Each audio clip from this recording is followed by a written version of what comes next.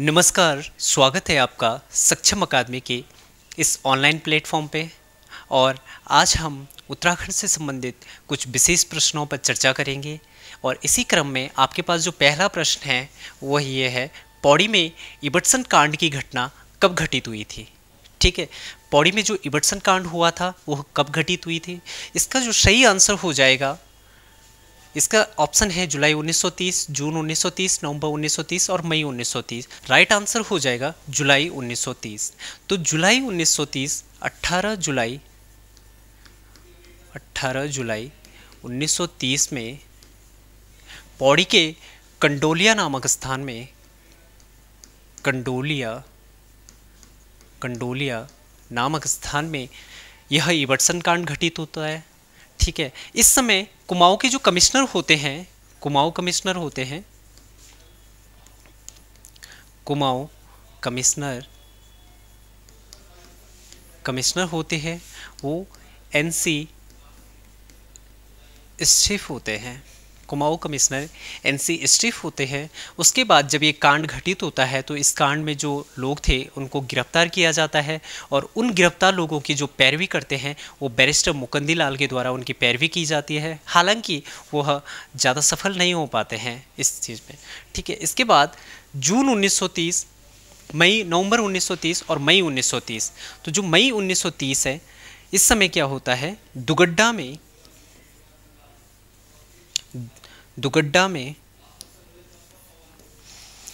British Garhwal का, British Garhwal का पहला राजनीतिक सम्मेलन, पहला राजनीतिक सम्मेलन, ब्रिटिश गढ़वाल का पहला राजनीतिक सम्मेलन होता है। ठीक है? नवंबर 1930 में सरकार की कुछ जंगलात नीति होती है। और इन नीतियों का विरोध होता है नवंबर 1930 में। पुरजोर विरोध होता है। ठीक है, जून 1930 की अगर हम बात करें तो जून 1930 में लगभग चार जून 1930 के आसपास हम देखते हैं कि जो अल्मोड़ा का जो नंदा देवी प्रांगण है, वहाँ पे एक जुलूस निकलता है और उस जुलूस में सभी लोगों के हाथ में राष्ट्रीय ध्वज होता है, ठीक है? और इस जुलूस में, इस जुलूस निकलने के बाद नंदा देवी प्रांगण में एक सभा होती है और उस सभा में जो शांतिलाल त्रिवेदी जी होते हैं, उनके द्वारा विदेशी वस्त्रों के बहिष्कार का प्रतिज्ञा पत्र पढ़ा जाता है, ठीक है? अगला प्रश्न जो आपके पास है निम्नलिखित में से किस कमिश्नर के द्वारा सर्वप्रथम सर्वप्रथम आपदा प्रबंधन का प्रयास किया गया? इनमें से कौन से कमिश्नर है जिनके द्वारा सर्वप्रथम आपदा प्रबंधन का प्रयास किया गया? तो इसका जो सही आंसर होगा, वो होगा हेनरी रैमजे तो जो हेनरी रैमजे है कमिश्नर के रूप में कमिश्नर के रूप में इनका जो कार्यकाल रहता है वो अठारह से अठारह तक रहता है। ठीक है, यह इस क्षेत्र की बहुत लोकप्रिय कमिश्नर हुए थे। इनके समय अठारह की क्रांति भी होती है और इस क्रांति का उत्तराखंड के क्षेत्र में, इस क्षेत्र में कोई विशेष प्रभाव देखने को नहीं मिलता है, क्योंकि इस समय जो कमिश्नर है, वो हेनरी टाइमचे है और यह बहुत लोकप्रिय कमिश्नर हुए हैं और यहाँ पे इन्हें रामजी भी कहा जाता है। रैमजे को रामजी भी कहा जाता है। इसके अलावा इस रैमजी के समय नैनीताल नैनीताल स्कूली शिक्षा के केंद्र के रूप में विकसित हुआ था। जो नैनीताल था, वह स्कूली शिक्षा स्कूली शिक्षा के केंद्र के रूप में विकसित हुआ था। जो नैनीताल में, नैनीताल था, वह स्कूली शिक्षा के केंद्र के रूप में विकसित हुआ था। रैमजे के द्वारा 1861 में जंगलात बंदोबस्त भी करवाया गया था। जंगलात बंदोबस्त भी किया गया था। इसी के द्वारा आपदा प्रबंधन के जो प्रयास किया गया था, उसमें जो अठारह में कमेटी बनाई गई थी और इस कमेटी का नाम था hill side safety committee. Hill side safety committee. और यह कमेटी इसका गठन किया गया था नैनीताल में। इसके अलावा जो रैमजे थे, इसने तराई भावर वाले क्षेत्र के विकास में भी बहुत ध्यान दिया और इसीलिए उन्नीस सौ तिरासी में तराई भावर इम्प्रूवमेंट फंड सॉरी अठारह में तराई भावर इम्प्रूवमेंट फंड की भी स्थापना की थी।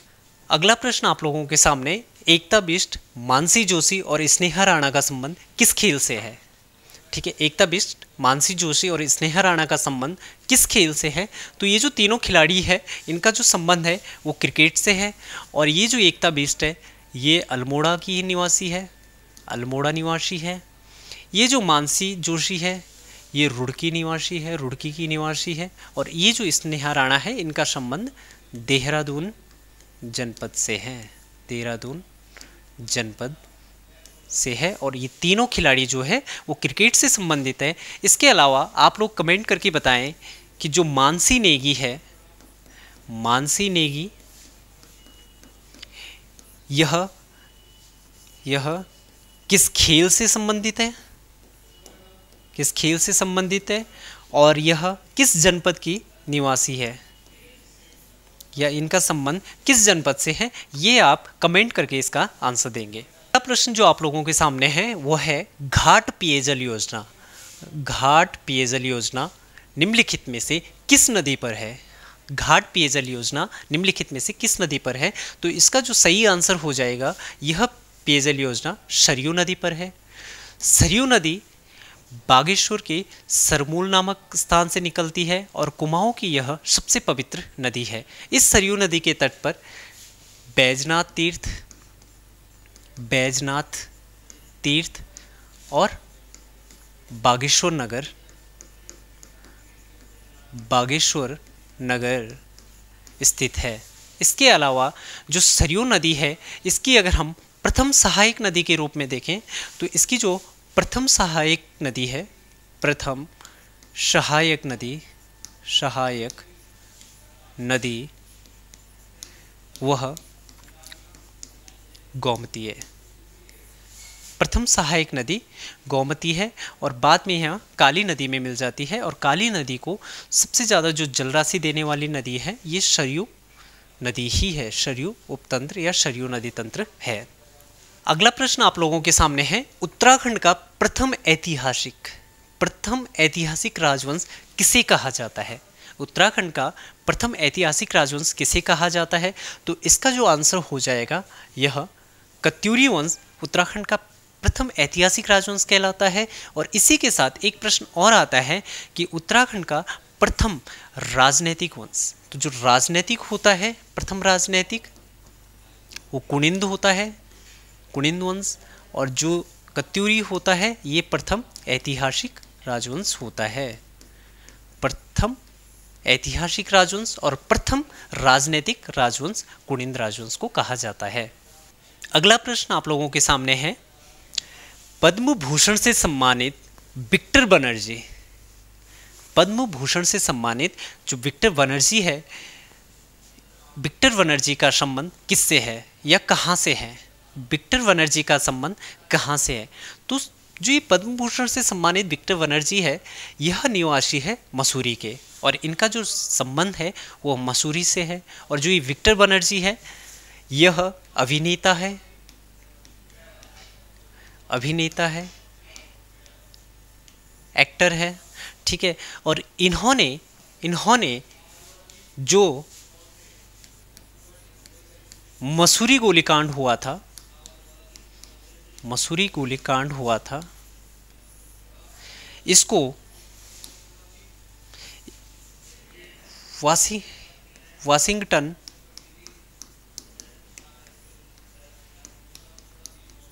पोस्ट में, वाशिंगटन पोस्ट में एक लेख लिखा था।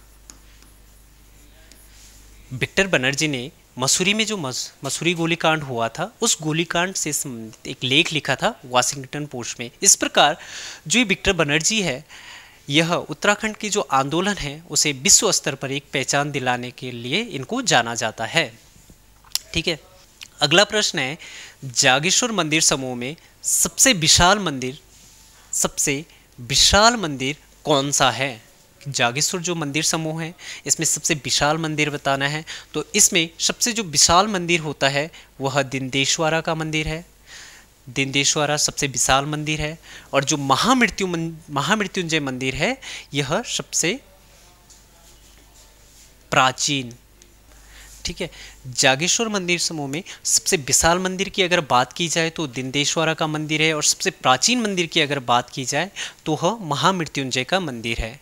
जो ये जागेश्वर मंदिर समूह है, ये 124 124 छोटे बड़े मंदिरों का समूह है, मंदिरों का समूह है 100 छोटे बड़े मंदिरों का समूह है। लेकिन वर्तमान में हम देखते हैं, लगभग 24 मंदिर ही हमें देखने को मिलते हैं, ठीक है? उसके बाद इसके अलावा ये जो जागेश्वर मंदिर है, ये जटागंगा जटागंगा नदी के किनारे है। जटागंगा नदी के किनारे है और देवदार के घने वृक्षों के अंदर यह जागेश्वर मंदिर समूह हमें देखने को मिलते हैं। इस जागेश्वर मंदिर, जो 124 छोटे बड़े मंदिरों का समूह था, इनकी शैली क्या थी? ये मंदिर किस शैली में थे? ये आपको कमेंट करके इसका आंसर बताना है कि यह किस शैली में निर्मित थे। ठीक है, उसके अलावा अगर हम बात करें जागेश्वर मंदिर की तो यहाँ से हमें दो कत्यूरी शासकों के द्वारा निर्मित मंदिर भी देखने को मिलते हैं। इनमें एक निम्बरदेव है निम्बरदेव है। इन्होंने जागेश्वर में विमान मंदिरों का निर्माण किया। विमान विमान मंदिरों का निर्माण किया था और एक इष्ट देवगण हैं। इन्होंने जागेश्वर में लकुलीस, नवदुर्गा, नटराज और महिषामर्दिनी मंदिरों का निर्माण किया था। इसने लकुलेश नवदुर्गा, महिषामर्दिनी और नटराज मंदिरों का निर्माण किया था। इसके अलावा हमें चंद शासक दीपचंद व उसकी पत्नी का मूर्ति मिली है। दीपचंद और उसकी पत्नी की यहाँ पे मूर्ति मिली है और अगला प्रश्न जो आप लोगों के सामने है, वह है, जागेश्वर मंदिर समूह में सबसे विशाल मंदिर कौन सा है? ठीक है, जो जागेश्वर मंदिर समूह है, इसमें सबसे विशाल मंदिर कौन सा है, ये बताना है।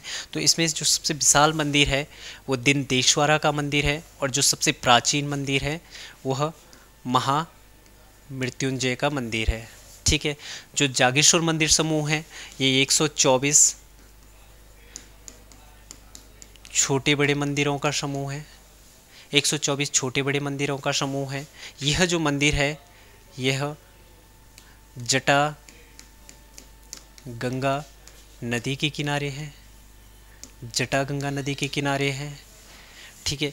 इसकी जो, इन मंदिरों की जो शैली है शैली है, यह मंदिर किन शैलियों में निर्मित है? तो यह शैली आपको कमेंट करके आंसर में बतानी है कि जो जागेश्वर मंदिर के, जो जागेश्वर मंदिर समूह है, यहाँ पे जो मंदिर है, वो किस शैली में निर्मित है? तो ये आप कमेंट करके इसका आंसर बताओगे। उसके अलावा, जो जागेश्वर मंदिर है, यहाँ से दो कत्यूरी राजा, एक निम्बरदेव और एक इष्ट देवगण। निम्बरदेव और इष्ट देवगण, दो राजाओं का हमें उल्लेख मिलता है। यह निम्बरदेव यहाँ पे विमान मंदिरों का निर्माण करवाता है। विमान मंदिरों का निर्माण करवाता है। और यह इष्ट देवगण यहाँ पे लकुलिस, नटराज, नवदुर्गा आदि मंदिरों का निर्माण करवाता है। ठीक है अगला प्रश्न जो आप लोगों के पास है, हिडिम्बा देवी मंदिर किस जनपद में स्थित है? हिडिम्बा देवी मंदिर किस जनपद में स्थित है? तो इसका जो आंसर हो जाएगा हिडिम्बा देवी मंदिर, यह चंपावत में स्थित है। हिडिम्बा देवी मंदिर चंपावत में स्थित है। अगर हम हिडिम्बा पर्वत की बात करें तो यह नैनीताल में स्थित है। हिडिम्बा पर्वत।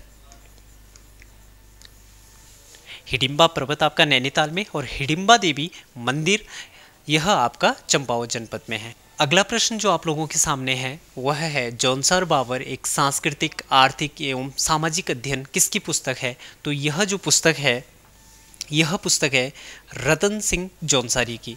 इनकी यह पुस्तक है और यहाँ पे जो पंडित शिवराम है, इनकी एक पुस्तक है वीर केसरी।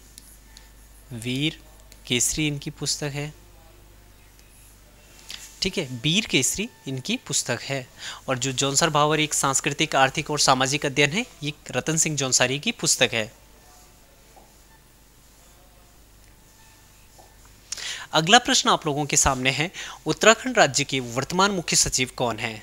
ठीक है तो वर्तमान में जो हमारे मुख्य सचिव है, यह हमें बताना है। तो इनमें जो हमारे मुख्य सचिव अभी वर्तमान में है, वो है राधा रतुड़ी।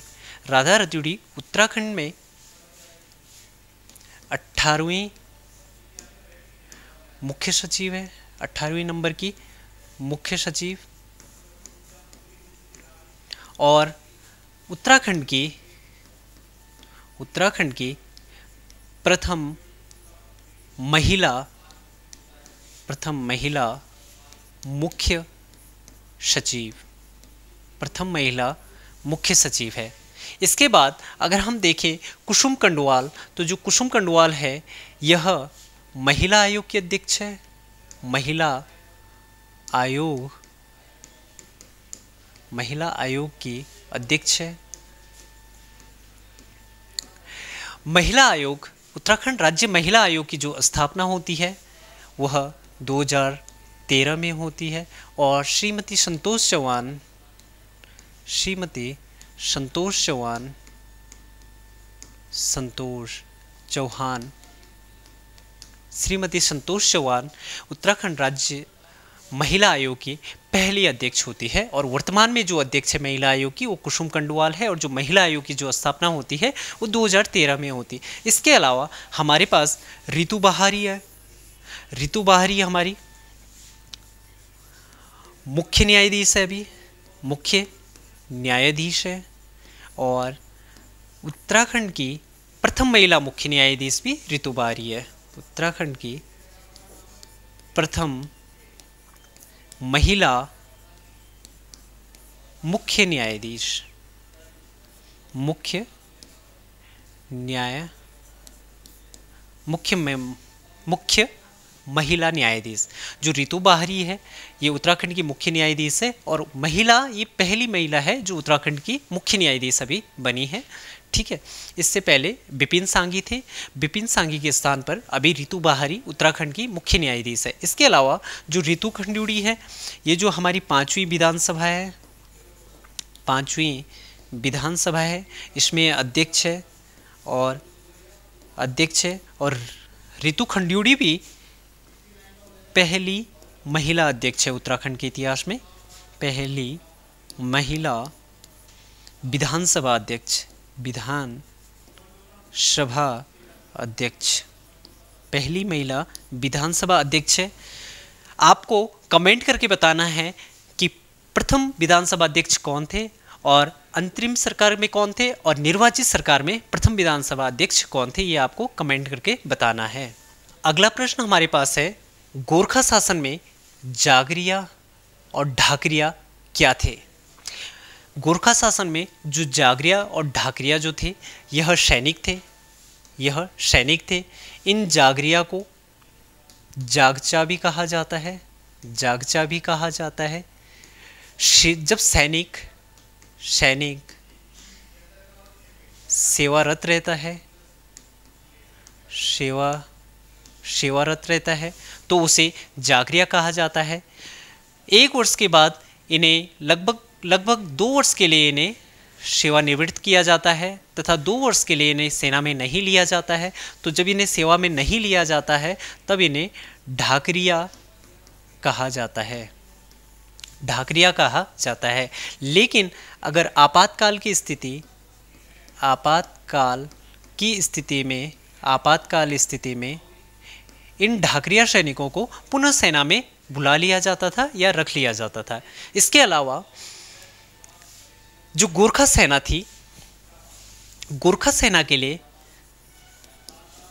कैप्टन हियरसी इन सैनिकों की प्रशंसा करते हैं और कैप्टन हियरसी कहते हैं जो गोरखा सैनिक होते हैं वो बहुत वीर होते हैं निडर होते हैं शत्रुओं की परवाह नहीं करते हैं और हमेशा प्रसन्न रहते हैं। यह कौन कर, कहता है? कैप्टन हियरसी कहता है गोरखा सैनिकों के बारे में।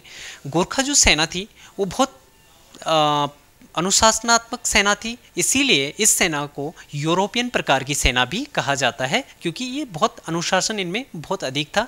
ठीक है, मॉर्निंग परेड वगैरह, ये सब भी इनमें होता था।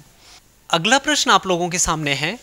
उन्नीस सौ बावन में हल्द्वानी में सर्वोदय आंदोलन का आयोजन किसने किया था? उन्नीस सौ बावन में हल्द्वानी में सर्वोदय आंदोलन का आयोजन किसने किया था? तो इसका जो राइट आंसर होगा वह होगा सरला बहन। सरला बहन ने हल्द्वानी में उन्नीस सौ बावन में सर्वोदय आंदोलन का आयोजन किया था। इसी सरला बहन से प्रभावित होकर या अपना प्रेरणा स्रोत मानकर तुलसी देवी ने उन्नीस सौ बावन में ही कताई कताई, बुनाई बुनाई, कताई, बुनाई केंद्र की स्थापना की थी और यह तुलसी देवी महिलाओं को स्वावलंबी बनाने के लिए इस कताई बुनाई केंद्र की स्थापना करती है उन्नीस बावन में। और ये तुलसी देवी पिथौरागढ़ की रहती है और भूटिया जनजाति से संबंधित रहती है और इससे सरला बहन को ये अपना प्रेरणा स्रोत मानती है। सरला बहन, इसके बारे में अगर देखें तो ये लगभग 1932 में भारत आई थी और गांधी जी गांधी जी इसे अल्मोड़ा भेजते हैं। अल्मोड़ा भेजते हैं, स्वास्थ्य उपचार के लिए से अल्मोड़ा भेजते हैं। और बाद में अल्मोड़ा में यह लक्ष्मी आश्रम की भी स्थापना करती है। लक्ष्मी आश्रम की स्थापना करती है, लक्ष्मी आश्रम की स्थापना करती है। इसके अलावा जो ये सरला बहन है, इस इनकी पर्यावरण से संबंधित एक रचना है संरक्षण और विनाश। संरक्षण और विनाश। संरक्षण और विनाश इनकी यह पुस्तक पर्यावरण से संबंधित है। लक्ष्मी आश्रम की स्थापना करती है 1932 में ने गांधी जी यहाँ भेजते हैं और ये सबसे पहले पहुँचती कौशानी में लक्ष्मी आश्रम की स्थापना करती है। अगला प्रश्न आप लोगों के सामने है कि 1922 में हल्द्वानी में सर्वोदय आंदोलन का आयोजन किसने किया था? तो इसका जो सही आंसर होगा इनमें, जो उन्नीस सौ बावन में सर्वोदय आंदोलन हुआ था हल्द्वानी में, उसकी जो आयोजक थी, वह ये शल्ला देवी थी। ठीक है? शल्ला देवी 1932 में भारत आई थी। गांधी जी ने इन्हें अल्मोड़ा भेजा था। गांधी जी ने इन्हें अल्मोड़ा भेजा था। बाद में यही, यह लक्ष्मी आश्रम की स्थापना करती है। लक्ष्मी आश्रम लक्ष्मी आश्रम की स्थापना करती है। इसके बाद जो ये सरला बहन होती है, इनकी एक पुस्तक है जो पर्यावरण से संबंधित है, संरक्षण संरक्षण और विनाश। संरक्षण और विनाश इनकी एक पुस्तक है जो कि पर्यावरण से संबंधित है। इसी सरला बहन को तुलसी देवी अपना प्रेरणा स्रोत मानती थी। प्रेरणा स्रोत मानती थी और इन्हीं को प्रेरणा स्रोत मानकर इस तुलसी देवी ने उन्नीस सौ बावन में कताई बुनाई केंद्र की, कताई बुनाई केंद्र की, कताई बुनाई केंद्र की स्थापना की थी और जो तुलसी देवी थी, ये पिथौरागढ़ की थी और भूटिया जनजाति से संबंधित थी। उसके बाद हमारे पास जो हीरा देवी है, हीरा देवी ने नायक, जो नायक जाति थी, नायक जाति की महिलाओं का प्रतिनिधित्व किया था स्वतंत्रता संग्राम में। इसके अलावा इसने नायक जाति के शिक्षा के लिए भी आंदोलन किया, उनके शिक्षा के लिए स्कूल वगैरह भी इसी हीरा देवी ने खोले थे। अगला प्रश्न है, रमाण उत्सव का आयोजन किस जनपद में किया जाता है? जो रमाण उत्सव है, इसका आयोजन किस जनपद में किया जाता है? तो इस रमाण उत्सव का आयोजन चमोली जनपद में किया जाता है और चमोली में जोशी मठ में, जोशी मठ में इसका आयोजन किया जाता है। सलूड़ डुंगरी गाँव में सलूड़ डुंगरी सलूड़ सलूड़ डुंगरी गाँव में इस रम्माण उत्सव का आयोजन किया जाता है। प्रतिवर्ष अप्रैल माह में प्रतिवर्ष प्रतिवर्ष अप्रैल माह में इसका आयोजन होता है। इसमें मुखोटा नृत्य होता है। मुखोटा नृत्य होता है और यह जो नृत्य होता है, वो मूक संवाद होता है। मूक संवाद होता है। जो ये रमाणोत्सव है, इसे जो विश्व स्तर पर जो पहचान दिलाई थी, वह डॉक्टर कुशाल सिंह भंडारी, कुशाल सिंह भंडारी ने दिलाई। और इस रामायण उत्सव को यूनेस्को द्वारा 2 अक्टूबर 2 अक्टूबर 2009 को विश्व धरोहर विश्व धरोहर घोषित घोषित किया गया था। 2 अक्टूबर 2009 को इसे विश्व धरोहर घोषित किया गया था यूनेस्को के द्वारा और इसे जो पहचान दिलाई थी वो डॉक्टर कुशाल सिंह भंडारी ने दिलाई थी विश्व स्तर पर। अगला प्रश्न हमारे पास है। उत्तराखंड राज्य गीत चयन समिति, राज्य गीत चयन समिति के अध्यक्ष कौन थे? ठीक है, जो राज्य गीत था हमारा उत्तराखंड, उसके जो चयन समिति के अध्यक्ष थे, वो लक्ष्मण सिंह वटोई थे, नरेंद्र सिंह नेगी और अनुराधा निराला अनुराधा निराला अनुराधा निराला ने यह गीत गाया था गाया था। ठीक है लक्ष्मण सिंह बटोई इस समिति के अध्यक्ष थे। उसके बाद जो ये भंडारी समिति है, भंडारी समिति, इसका संबंध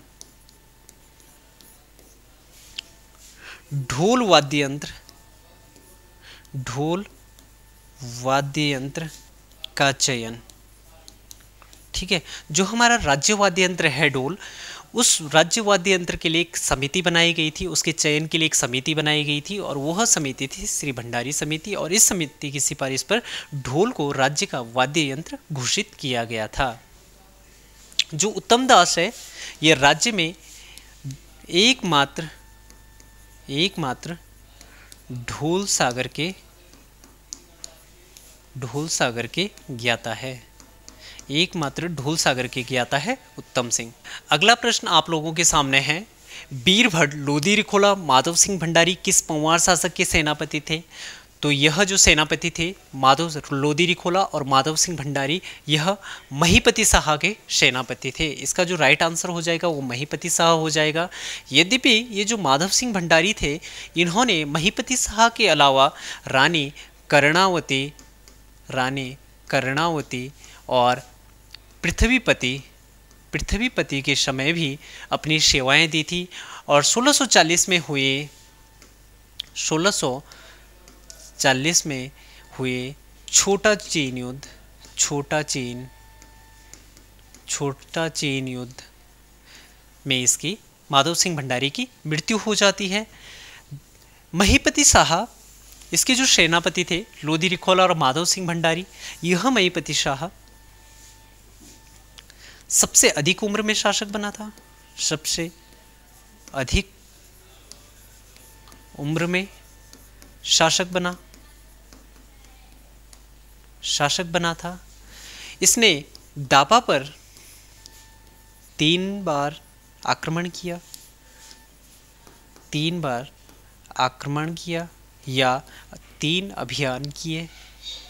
अभियान किए। तीन अभियान किए। दापा पर तीन अभियान के बाद मौलाराम ने इसे महाप्रचंड महाप्रचंड भुजदंड भुजदंड की उपाधि दी।